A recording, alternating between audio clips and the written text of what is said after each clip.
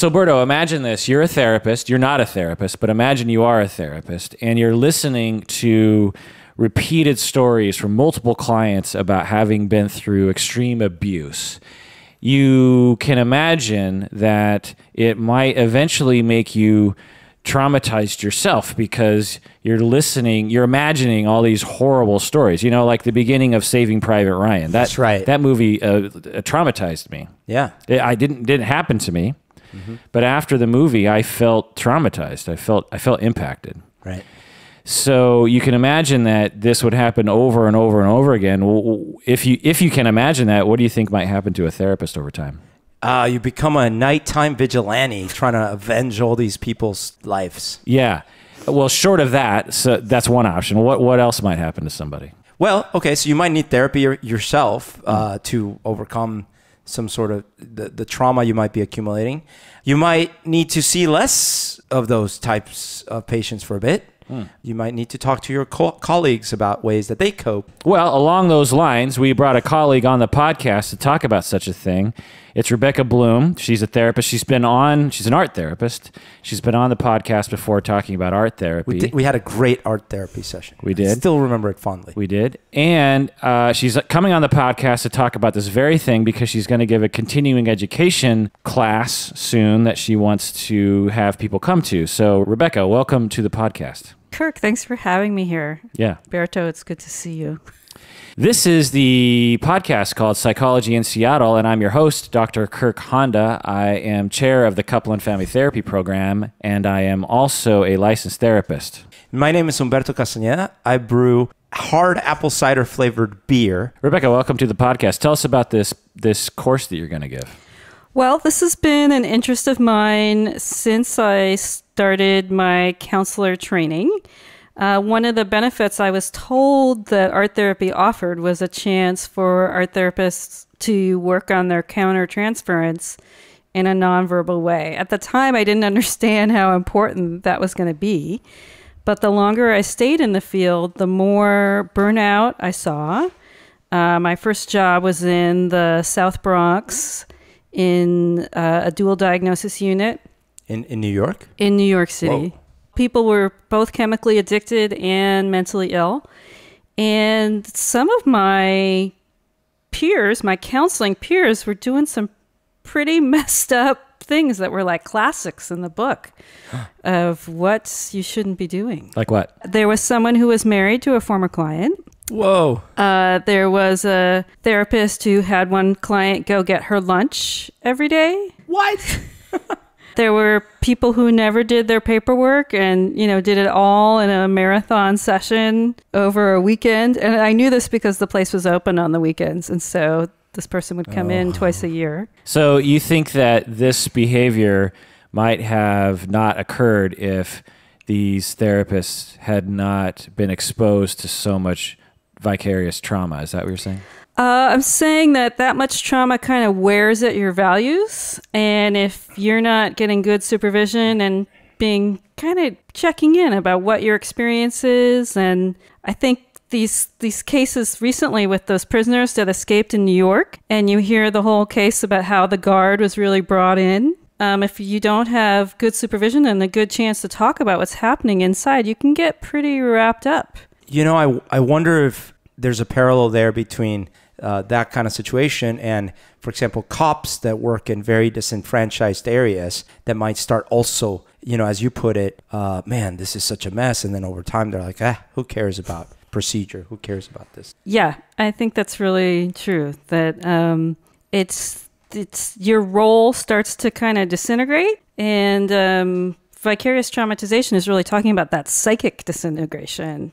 So you were providing a course or some kind of activity for therapists to create art as a way of processing some of the uh, difficult stories that they had heard from their clients. Is that what you're saying? Uh, that's what I'm going to be doing. That's what you're going to be doing. Oh, okay. I thought you said you had already done it. So that's the course you're going to do. That's the course I'm going to teach. Although I've had lots of opportunities to do it before this. So the first major one was when I worked at Asian Counseling and Referral Service. The staff there was so stressed out. Many of them had been in the same internment or refugee camps as the people that they were now counseling, or in general, that communities were so small that, you know, they didn't have very high levels of separation between their clients. And so everything was very inter- intertwined. What, what what kind of camps? What like where? Refugee camps, like, Like Cambodia, Mm-hmm. Mon. Oh people. my gosh! So, but they were here in the U.S. Yes. They had immig- immigrated, yes. and they were traumatized.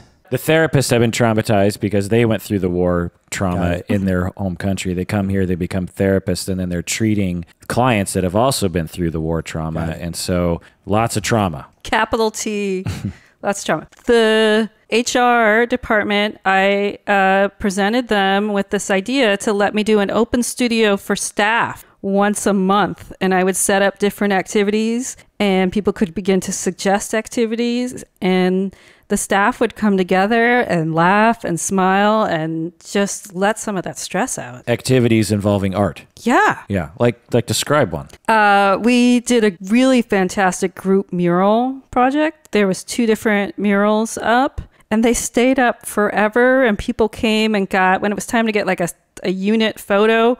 They wanted to take it in front of the staff mural, so it really became part of the environment. What was the directive? Just express yourself or what? Uh, that one would be two big pieces of paper. I think one I pre drew a dragon because I knew that was a powerful symbol in that community. I think the other one became a road with a house. Uh, but then people started asking for activities. So we did candle making. People wanted to do the Martha Stewart technique of hollowing out a lemon half, making a candle. What? Yeah I've never heard of this. this is fantastic. So I got pushed to learn new things, and it meant even more to them. And maybe a group of people would come in that wouldn't have come in for a, a, an activity that I thought was interesting. Um, so that's when I saw how powerful it was. So you're giving a continuing ed course. Yes. What's the capacity for this class? Unlimited? Uh, unlimited. I think it's actually it's either twenty four or fifty. okay. And and how do they find out when and where and how to sign up? So Cascadia.org.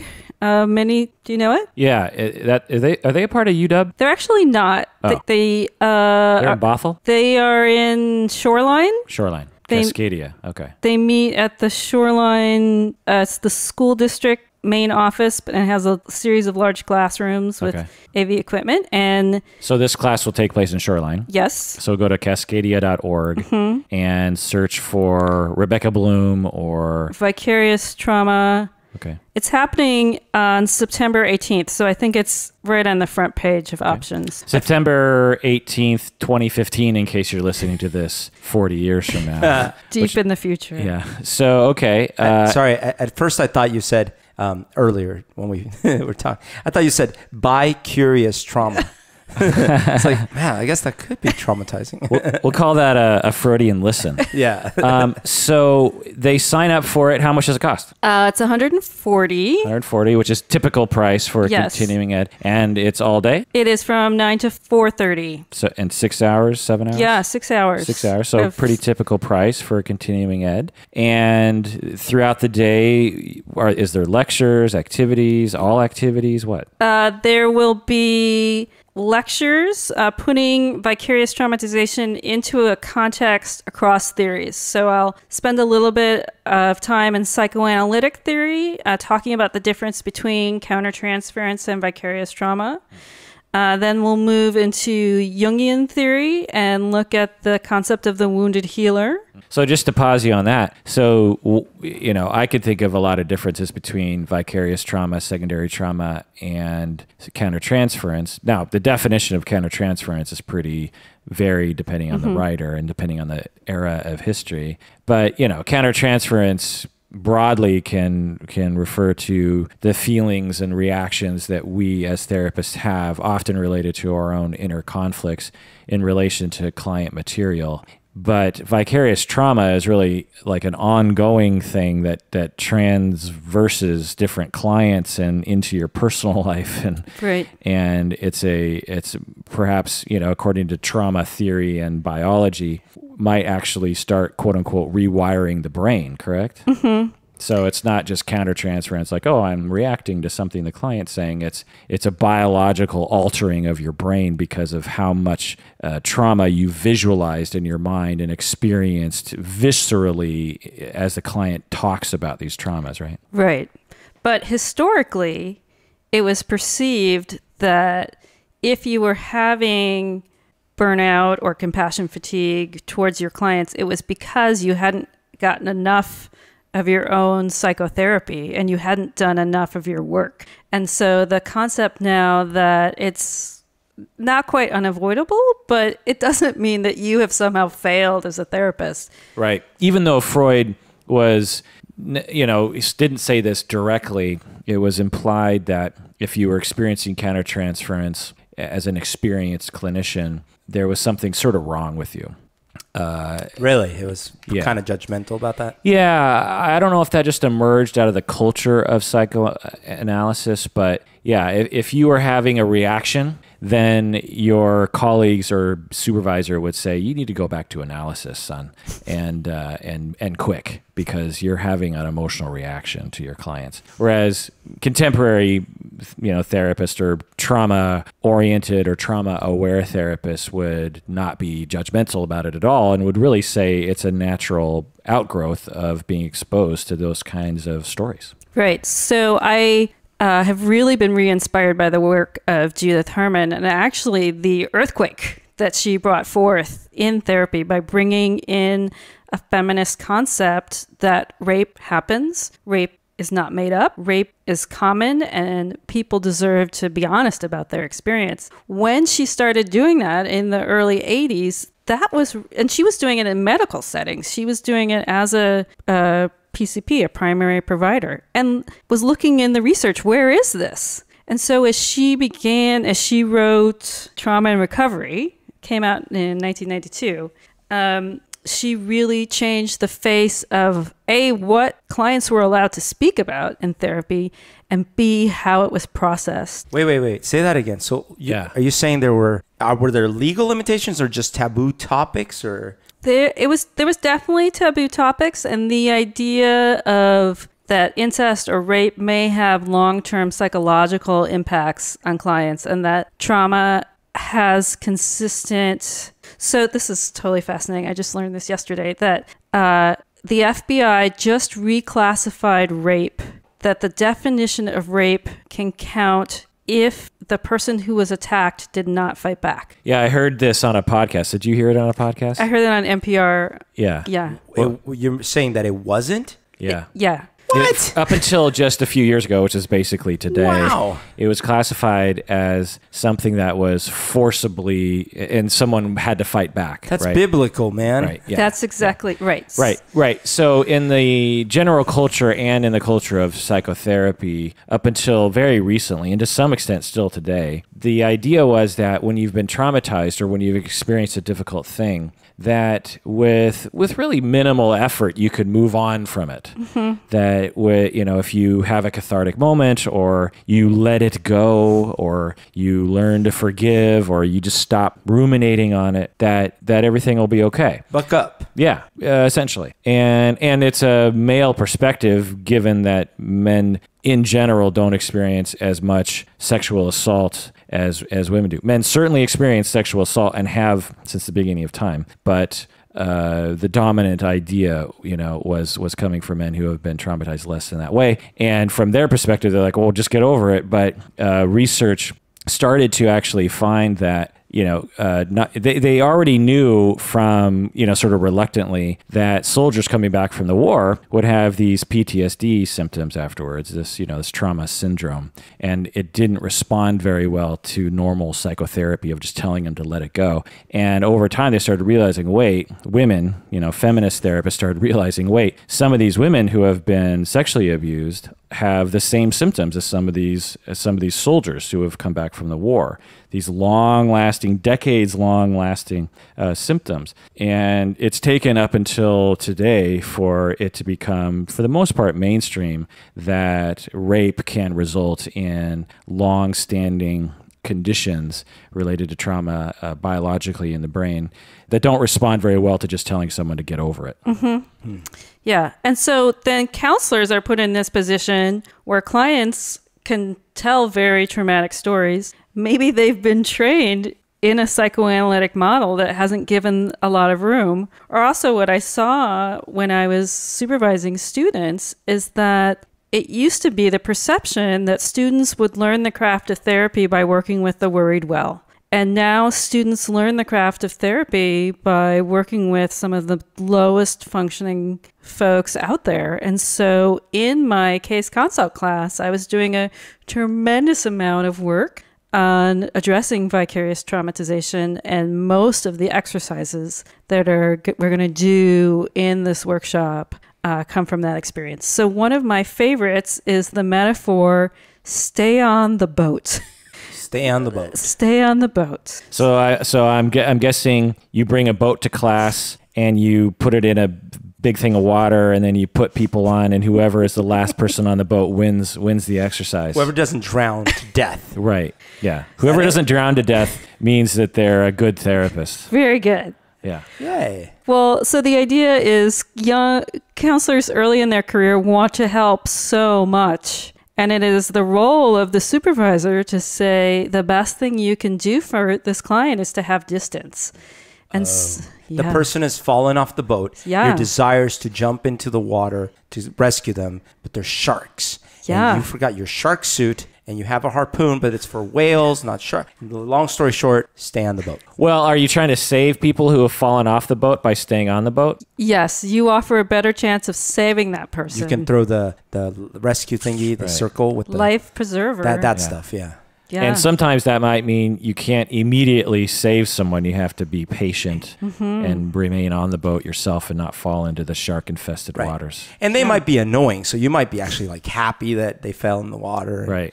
You know, or Yeah. I guess not if you're a therapist, but Yeah, totally. in more in more cases than not. yeah. Are you going to work in Sharknado into this? Because I should have some graphics in my PowerPoint from Yeah. Shark Week. I think yeah. that's clearly. So I have a question. Yeah. If you are the example that seems very um, obvious is the one where I was also traumatized in the same way, or I Mm-hmm. came from the same war torn region or something. But let's say you're not. Let's Mm-hmm. say you were a fairly balanced individual. Your parents are still together, whatever, just fairly balanced. And you started treating folks. I- I'm going to reword that.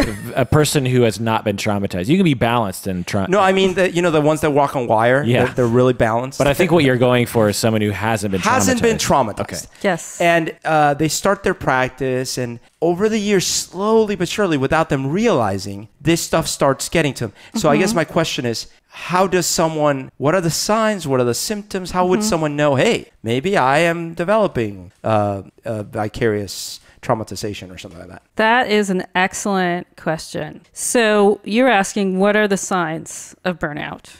So, one of them is that you are repetitively think about your client's story. You can't shake it Oh, when you get home. Uh, another one would be uh, somatic issues. Always Body issues. Yes, you always have a stomach ache. As you head into work or you see that client's name on the schedule, you suddenly feel really icky in your body. Uh, another issue would be turning away from the things that you used to love to do. Whoa. Maybe you stop hanging out with friends. Maybe you stop doing your hobbies. Maybe you feel guilty about your own joy in your life because other people are suffering so much. Um, there's so many Yeah. Interesting. In in addition to those, uh, in my experience and according to the research that I've read, when you have difficulty empathizing or having compassion for your clients or really anybody, it's a sign of ongoing secondary trauma. So, like when you're talking to your friends and they start talking about something that feels big to them, and in your head, or maybe out loud, you say, Buck up. right. You, you in your mind you start rejecting it. You- Yeah. because you've heard too much. You've ta- you've had they call it compassion fatigue, vicarious trauma, secondary. You you're tired of providing compassion. You've provided too much, and the next person that needs it, you just don't have it to give. And when you don't have compassion, then you start having judgmental thoughts like "get over it" or "what's wrong with this person," or or or you just don't really listen that well. You're just like, "Uh huh, yeah, what what's next?" And you could absolutely imagine a therapist getting to that point after hearing a lot of difficult stories. I I had a an experience with a friend who I was at the time listening to a lot of news about what was going on in Africa and I also in the Middle East about um, the kids, you know, in Uganda and all these things. And I remember this person came to me and was talking about something that was going on in their life, which granted by comparison was quote unquote minor, but was really affecting them. And I was so callous because I, I even said I even was sarcastic. I was like, "Oh yeah, no, no, I totally see how that's like, you know, being war torn and torn from your family and having to wield a rifle at 12." And clearly, this didn't go over well. But in my mind, I was perfectly justified because I'm like, "How dare you, first worlders, care about your own little tiny problems when the world at like but it's it's kind of that i was ge- i was having fatigue even though i'm not a therapist because i had been listening to so much of these horrible tragic news that when this person that's just around me came to me with their problems i didn't want to hear it. I couldn't handle it. And i didn't realize that. It, it, it was later where i was like hmm that was lame. Yeah. So, what are the Jungians and how do they overlap with vicarious trauma? Well, they have a, of course, a very beautiful theory, as all things Jungian um, are so beautiful. So it's the idea of the wounded healer. It comes from the Greek myth of Chiron that uh, within every client, What's the Greek myth? uh, Chiron was the first Minotaur. News to me, as featured in uh, the the labyrinth in, in the Midas the Yes. king midas uh, la- labyrinth yeah with yes uh what's his name Hercules. No, no, no, not Hercules. Well, he he went there too, but uh, who was the guy who per not Perseus? Uh, Odysseus? no, I, I can't- Ulysses? No, Uh, No. You've spent too much Starts time in P. Greece recently. Per- it was Perseus. Perseus maybe. Yeah, he has to go through the maze, and there's the Minotaur, and yes. yeah. Wait, how, how do you spell his name? I want to look it up. S no, sorry. C one? H I R O N. Which I think is K- Chiron, right? Chiron. Chir I should know. Chiron. I think it's Chiron. He's in Yeah, the Lightning Thief movies. in the Chiron. Chiron. Chiron. Uh, let's see. Was held to be a superlative centaur among brethren. Uh, mythology. Da, da, da, oh, uh, a centaur. I see. Okay, so Education of Achilles. Half man. half horse, half man. So Yes. this wasn't the Minotaur. This was no. the Half, centaur. that's half okay. bull, half man. Yeah. Do you mean Prometheus?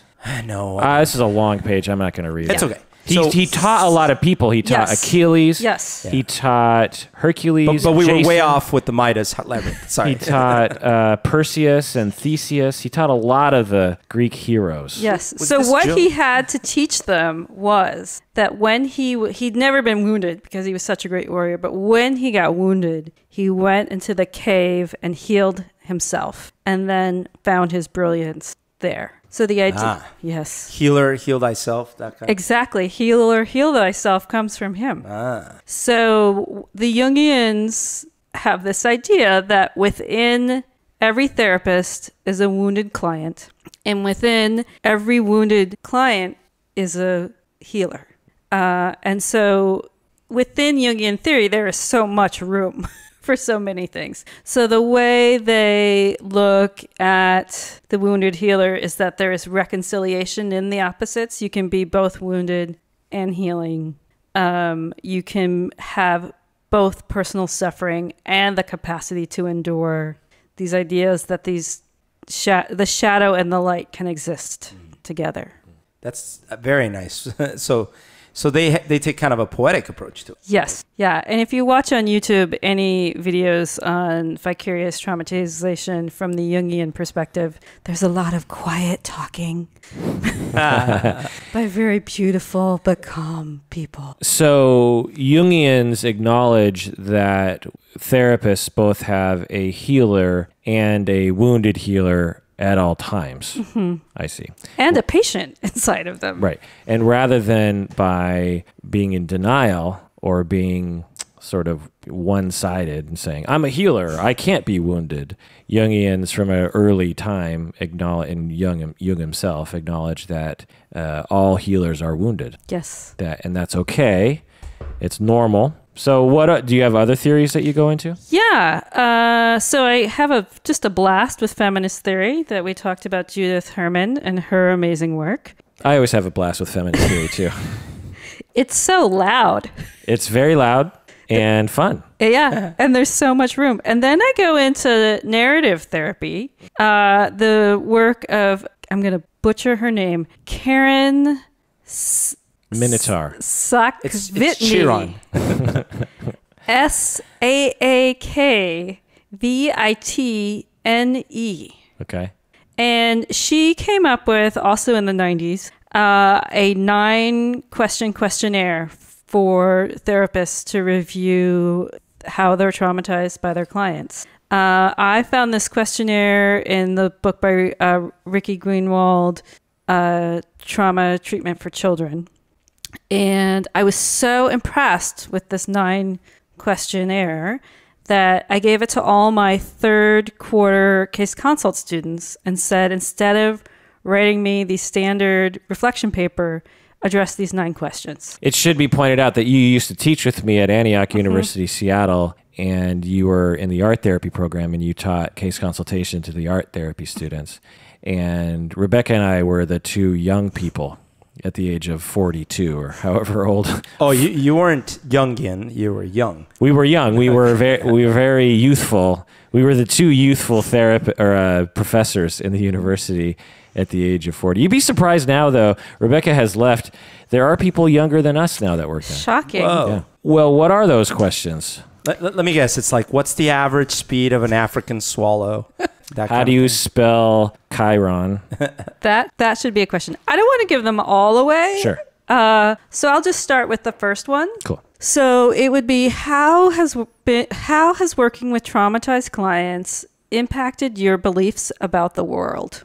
Can I answer that? Yes, please do. When I first started out, I was pretty innocent to the evils of mankind. I mean, I'd certainly seen movies and heard stories, but to hear them up front and personal with someone that I really cared about over and over and over again changed my perception of human beings kind of in general and of the system in general. Like our legal system mm. didn't always work the way that i had thought it should work. And so uh, it, it it changed how I saw abusers. It sort of raised my awareness of that being out there. I think it also changed how I saw resilience. I think I saw resilience in people that I thought would be impossible given the amount of abuse they had gone through. Uh, those are just some off the top of my head.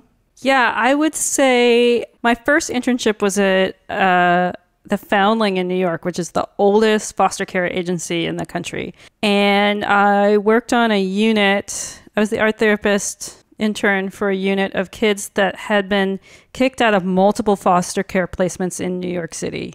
And we're on this unit to try and figure out what they were going on, what was going on. And some of them were the cutest, sweetest, kindest kids. And that blew my mind. Like, what is going on here? You, you expected more like mis- misadjustment, like they're kind of criminal behaviors, that kind of thing. Yeah. Yeah. Yeah. Um, and so I remember just kind of looking at everybody a little bit differently and thinking about the system a little bit differently. Like, are they not training these providers how to work with these kids or what is happening? But it really, I saw how broken the system was. And that's actually something that I'll talk about that's one of the things that psychoanalysts psychoanalytic theory really offers to this is they really talk about how the brokenness of the system impacts the clinician as much as the brokenness of the client that within the broken system that's where the powerlessness can really be at its height Can you give a little bit of context to the brokenness of the system? So they have this fascinating theory that the lowest functioning clients at an agency filter up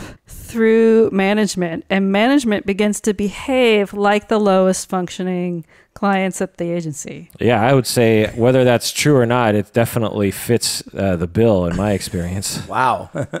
And so then it gives the clinicians permission to approach their bosses with the skills that they would use to approach low functioning clients. That's the uh, the Peter principle, but like you know, did you ever read that book? The the one where like the incompetence rises to its level, and so um, uh, so if I'm understanding right, this is like in a lot of these organizations there is dysfunction at the management level, and it feels like the dysfunction they deal with with their clients. Great. Wow. Yeah, I've certainly seen this in agencies and in organizations like CPS, like Child mm-hmm. Protective Services, DSHS, which is Department of Social Health Services in Washington State.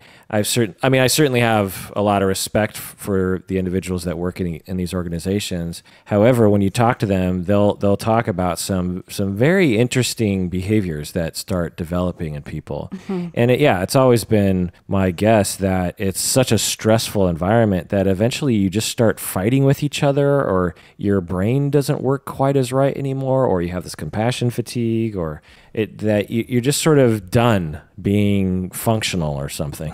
So, a very famous example is that so a client with a borderline diagnosis could be at an agency and, and the staff could start fighting in staff meeting. This client is working all of us. No, you don't understand how broken this client is. And so the clinicians literally take on the client's diagnosis. Yeah, in family systems theory, they ca- they call it isomorphism, and I've certainly seen it when I'm in case consultation at agencies or at, at university or wherever, and we're talking about a difficult client. Particularly if the clinician isn't very experienced or doesn't have a differentiated stance with the client, you know, they're pretty reactive themselves or they feel really incompetent or something. That anxiety just fills the room and everyone starts acting anxiously and from a place of insecurity or a place of desperation, a place of criticalness or a place of we must fix this problem and and the what Bowen would say to do is just take a deep breath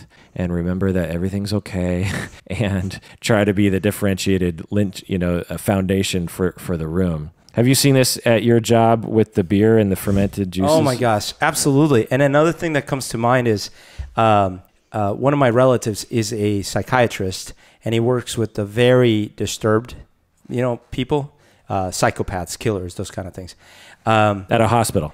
at a hospital. Yeah, and he's actually trying to introduce music as therapy with some of these very, very unreactive, unresponsive individuals. And there's a lot of resistance apparently in the organization. And it's interesting because the the the way he describes it is like they say things like like no no no no we need to stick to the to, to the drugs to the things and it's almost like this scared reaction like you would imagine a patient be like no no no no no I must stick to my medicated doses and like and so I, I can kind of see that kind of like same type of behaviors at the management layer Right. It's, uh, Because if you were at an organization where everyone was relatively healthy Mm-hmm. and you could pat yourself on the back every night and say everything's hunky dory, and then someone introduced the idea of why don't we mix it up and let's also do music, you could imagine that there'd be more flexibility. Yeah. Oh, why not? Let's try it. Right. Uh, I was also going to comment that at a previous job, I started taking. So as you were describing some of the things, the the symptoms that when I asked you about the symptoms, I was like, oh my gosh, I was having symptoms like that. And of course, it wasn't a therapy type job, but I was having to deal with management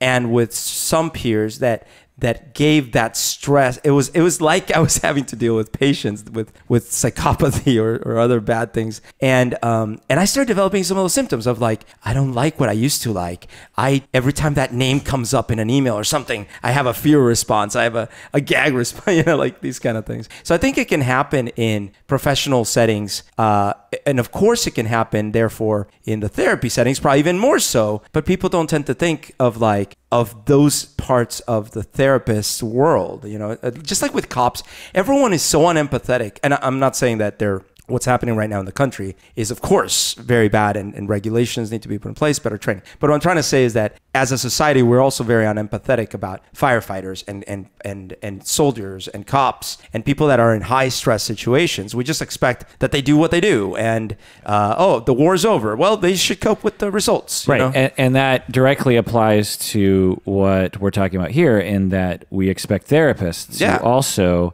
be completely impervious Mm-hmm. to the traumatic stories and traumatic imagery that clients will bring to us. Yeah. And this this research around vicarious trauma, secondary trauma, burnout, compassion fatigue is actually kind of um, shall I say, it hasn't really been integrated into the profession yet. Yes. So speaking of that, I was desperately looking for simple statistics of what percentage of clinicians experience vicarious traumatization. There's very few studies done. Uh, the, one of the most interesting ones was done in Australia in 95. And it, they studied people specifically working with male sex offenders. And they found that 30%, Ninety nine percent.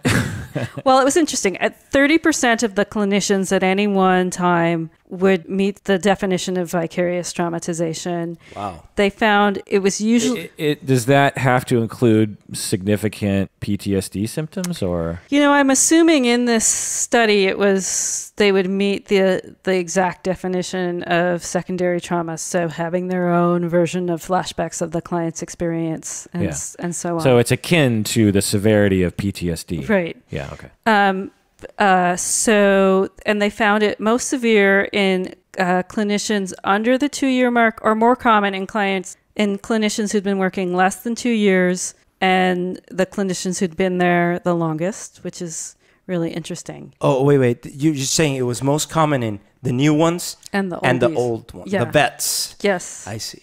That makes sense, actually. Yeah, it's Yeah. interesting, yeah, because at the beginning you don't have the defenses to defend yourself against this mm-hmm. stuff. And The over- middle zone, you have defenses, but you haven't been exposed to too much of it yet. But and later stage therapists have, you know, don't, regardless of defenses, they've just been exposed to They too wear much. down, yeah. Yeah. And then I was trying to imagine, and because I have been in this, how it impacts a work environment when 30% of the people have post traumatic stress symptoms. Right, because when you're when you're triggered and when you're at work, I'm guessing they would get triggered all the time.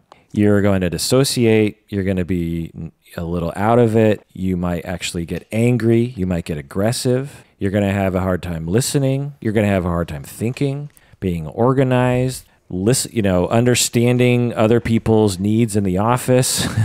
and and I'm just guessing that it would be a yeah, a difficult environment. Downward spiral for the community. And I think if you asked any clinician, do you think you've ever been in a staff meeting where 30% of your peers had active PTSD symptoms? I think most clinicians would say yes. Yeah. Yeah. Wow. And this applies, as you were saying, to firefighters, police officers, School teachers. school teachers, uh, first responder kind of people, right? Uh, doctors. I we had a, an episode with Nicole a while back in which she talked about all. She's a, a she works at the University of Washington. She's a medical professional, and she works a lot with prenatal issues. And she is there when when fetuses die, and when babies die, and when people die.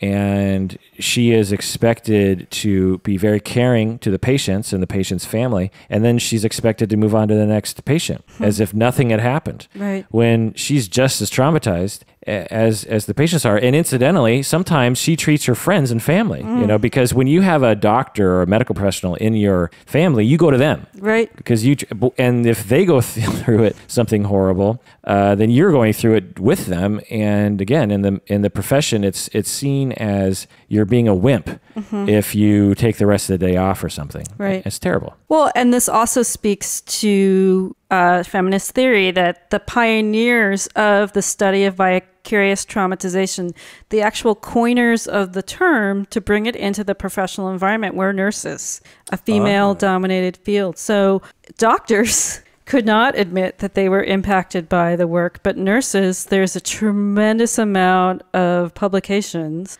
on vicarious traumatization in the nursing field. Yeah, there's a lot of relevant research and cutting edge re- cutting edge res- research in fields that psychotherapists tend to ignore in the nursing field. So the nur- nurses will publish uh, articles that are very relevant to us as psychotherapists that are are that you know psychotherapists sh- you know shamefully ignore a lot of times like vicarious trauma. It's just absurd that a nurse would have to come up with a psychological research topic Right. when therapists uh, you know this is our area you know what i mean? It's like us coming up with a way to change bed bedpans or something. A heart rate monitor. yeah.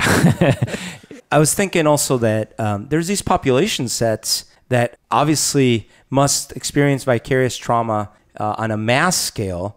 Uh, I, I can remember when I was in Colombia in the 80s, and essentially every night there were the news was like this massive depressing threat about all these murders and all these bad things that happen just around the corner and stuff. And this was the whole population and a population that honestly probably wasn't going to therapy, had the money to go to therapy. And so I could only imagine the the the you know how it builds on top of itself. Then the neighbors start being less neighborly because they're traumatized, and that leads to more trauma. And ah, and then you can imagine even more war torn regions. And yeah oh my goodness, Yeah, I, I have a I've I won't say specifically because I don't have the research in front of me and it would be potentially a generalization, but I've seen clients from particular regions of the world that all seem to exhibit what you're talking about. Mm-hmm. That they've had a you know some some instances you know decades centuries of of war and rape and terribleness. And as a result, literally everyone has some form of trauma syndrome, whether it's PTSD or neglect because their parents were too uh, desperate to actually pay attention to their children, and it just gets passed down through the generations. And then you have addiction problems, and and basically, you know, the entire community uh, suffers from some psychological issue as a result. And then they come to the states, come to Seattle, and then and then I see a lot of those people from those from those regions of the Right. world. One of the people were asking me, would this training, the idea of intergenerational train, intergenerational trauma, which is what you're speaking about, would would it apply to this training? And all the examples I'm going to do, uh, I've done with clients addressing intergenerational trauma as well, because it is the same experience in a way of just the stories being transmitted uh, that cause the nervous system to literally flood. Right. So, did our responses to that first question indicate anything about our vicarious trauma level? So, the beauty of narrative therapy is it just gives you time and space to tell your story. What's what's another question? Um, let's see. I like this question a lot because it, it, it really gets people thinking. How did how has working with traumatized clients impacted your sense of control? Impacted your sense of control. How do you interpret that? Am I supposed to interpret that broadly? Yeah. My sense of control, like over my life? Yeah. I would say it has impacted my sense that I have less control Mm-hmm. over my life since I've seen what can happen to people who do who lead good lives mm-hmm. and yet get traumatized mm-hmm. unfairly and how it's seemingly kind of random who ends up being at the bad end of a stick, you know what I mean? Yeah. The wrong end of a stick? What's the what's that saying? What's the good end of a the stick? The sharp, fun end of a Hot pogo poker. the stick. blunt end. Well, to that to that point, um, okay. So I just this last weekend I had this near physical fight, which I haven't had since I was in high school. Do tell. I was uh, in a storage unit and I was uh, going through stuff to donate and things like this. I was sitting there just going through my stuff, uh, and I was with a friend, and we were talking out loud, th- thinking through, oh, should I keep this book? Oh, you know, I bet I know who wants this and stuff like that. And I have a loud voice, so I was probably being loud. That's fine. Um, a ways down the hallway, there was a, a young man also in his storage unit. I went upstairs to use the bathroom. When I came downstairs, he said something to me. I couldn't quite make it out, and I turned around. And when I first looked, it looked like someone I knew. And so, and what, it, what he said sounded like, hey, can you guys keep it down?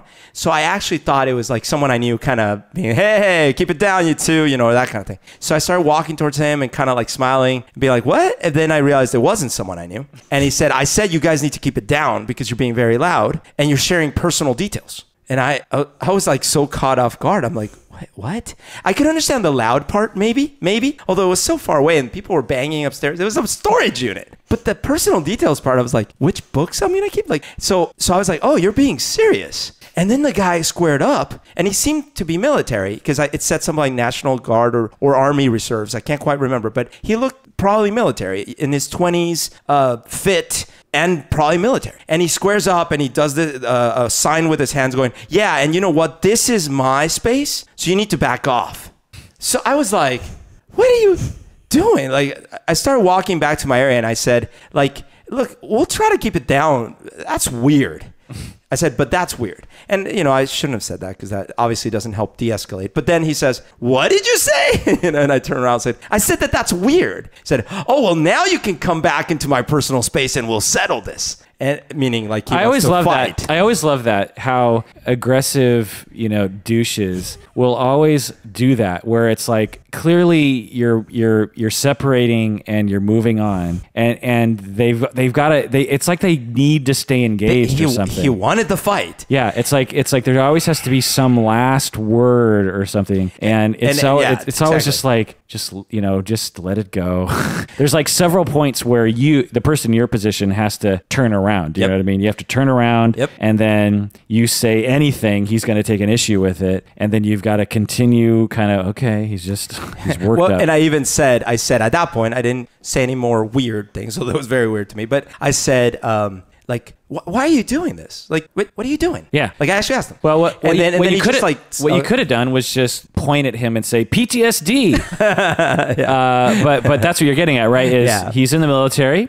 Probably, and it seemed like he was going through something. Yeah. And I and I was thinking about how those places are probably stressful places because you're normally at a storage unit because you have an overflow of stuff for some reason that's not awesome. Yeah. Normally, not always, but normally. And uh, and then here, but here's the, the thing that happened to me right after that is the the employee that works there came downstairs and she started to complain to me like I was the the one doing something wrong. and that triggered me that triggered a fairness response in me. Yeah. And the fairness response to me of me is because I think of my like my growing up traumatized in a society where everything seemed unfair yeah. and in a family situation where things seemed unfair. So so then like with the retrospect i was like oh my gosh like um, that that employee oh i'm so angry at her and stuff like that. And then someone pointed out well you know she probably deals with tr- stressful situations like these a lot and she's probably traumatized herself. Yeah I, I totally agree. Were you bringing this up partially to point out that the guy might have had ptsd the guy might have had ptsd PTSD. Yeah. Uh, and I'm not going to call it PTSD, but clearly the gal probably deals with stressful situations. Yeah. It's something triggered me when she was making me into the bad guy. Yeah. the like, the trauma trigger model of seeing the world, that lens, is very helpful a lot of the time. I use it a lot with my couple clients. Mm-hmm that particularly who have been traumatized by something in the past. And i say and we'll have a whole language around like so did anyone get triggered this week you know? And but hmm. but but we but we talk about that for several weeks so that everyone understands trauma and that it's understandable and natural and that when you get triggered your trauma gets engaged and your brain switches to a different mode and you're not going to be able to think straight and you're going to come out either swinging or retreating or dissociating or something. And that full awareness and then i ask so were you triggered this week? And they'll say yeah so and blah blah blah and, and it's a very effective and i think accurate way of understanding how these things work so when you approached him that there's a chance that he misunderstood that you know what i mean yeah. because he he was he wasn't someone you knew and you were yep. you just you turned around and like started walking right at him yeah and with a, a, smile and and I, I thought also about a couple things it's just hypotheses but you know i'm dark. I have a thick beard. If he was in the war he was probably in a part of the world where that was not his friend. Yeah. And you and, had a turban on. Yeah. For and some weird reason. and if i was being loud which i probably was right maybe noise triggers him. You know like yeah. there's so any sure. number of explanation. Well, and also in that trauma response, we now know that the executive functioning goes completely offline. And if you can think about this workshop for clinicians as a chance to re-engage that executive functioning in a safe way and let the their own experience out in a variety of ways. Right, Can, it, so- can it be at a QFC though, or just Safeways? Just Oh. So um, you lecture organic? you Mhm. lecture about various things, Mm-hmm. and you also do activities that are experiential, which is very Antiochian, as we call Yes. it, in which you walk the students through different art directives that help them to get to know their vicarious trauma and maybe process it. Yeah, I would say these are all going to be narrative therapy. I'm not expecting any art, but there will be time to respond. If you want to draw, that's great. If you want to write, that's great. If you want to talk quietly into your recording device for later, that's great. Um, but I really have seen in my work that getting a response out shifts people's experience so much. So I can do this nine questionnaire session as a, as a single session, and people will come back the next week and say, "Boy, do I feel different." Huh. And so you're going to walk them through that. Mm-hmm. And they'll write down or share with their neighbors or talk with you or what? I think they'll write down. I think we'll have some dyad sharing and then some group sharing at the end. Great. And uh, go ahead. Is one of the questions you getting in their face and like slapping them really hard and being like, "Are you just gonna stand there and do and do something, or just sit there and bleed?" I, I screwed up the quote, but but anyways, is it like that? Is it like Tombstone? No. Oh man, Not I another know. random unknown movie. quote. Tombstone. You know Tombstone. Yeah, I've seen it, but I haven't memorized it. I, obviously, I haven't either because I screwed up the quote. Jiminy crickets. it's one of my favorites. I will also say that I have found a hour long interview with Judith Herman from 2000, uh, which I'm still deciding which clip to show during the training because it's all so amazing. Hmm. Who- Life. who is that? Judith Herman wrote Trauma and Recovery. She's oh, a medical doctor, Okay.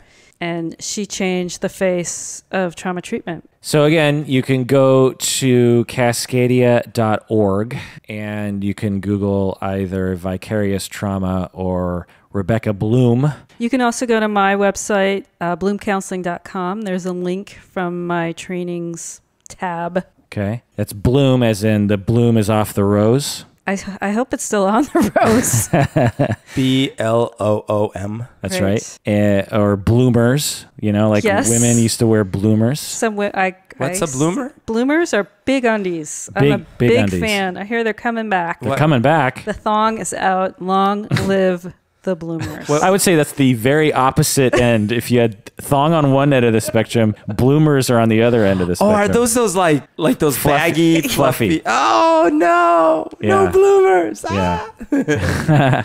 Uh, if they're bloomers, can you have just one bloomer? Like if you had one leg? A bloom. I don't know. Yeah. um, okay. And also, you are in private practice downtown That's, Seattle that's true. in the Pioneer Building with a lot of other therapists that, Amazing therapist. that we know. Uh, Is that where we did the that's where we did the sand tr- play Sand therapy. play? And we also did the dance movement therapy episode there. Was that one there too? Yeah.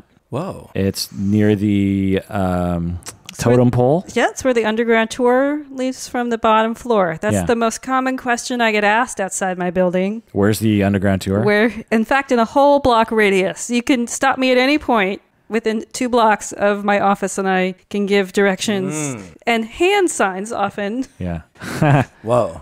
And there used to be a secondhand store in the lower level, but Yes. it, it has since gone away. The in fact, that that that blue cat that's over there, uh, the porcelain freaky little blue cat that I have Mm-hmm. in my office, is from that store. Is that the kind where they sell raspberry berets? She wore a raspberry If- beret. If the current best clothing vintage store, I want to give a shout out to my favorite people down in Pioneer Square, is Bon Voyage Vintage, Ooh, where you probably could find a raspberry beret for that's awesome. under $20. well, it's Bon Voyage. You know, everyone that's German, Oh. and we all know that berets are, are German. So Uh, Germo Italio. yeah. Wow.